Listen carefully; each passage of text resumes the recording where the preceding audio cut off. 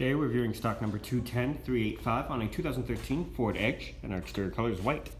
Interior options include power windows, locks, and mirrors, power driver seat with lumbar support, leather upholstery, sunroof, light controls, memory seats, rear hatch controls, paddle shifters, hands-free communication and audio controls, cruise control, CD AM FM radio, and climate control with AC.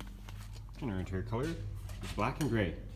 Under exterior features, we have alloy wheels, rear parking assist, backup camera, remote trunk release, power hatch, and more cargo space.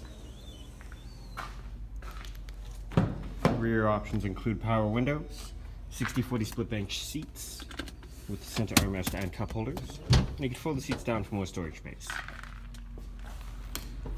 Once again, we're viewing stock number 210385 on a 2013 Ford Edge, and our exterior color is white.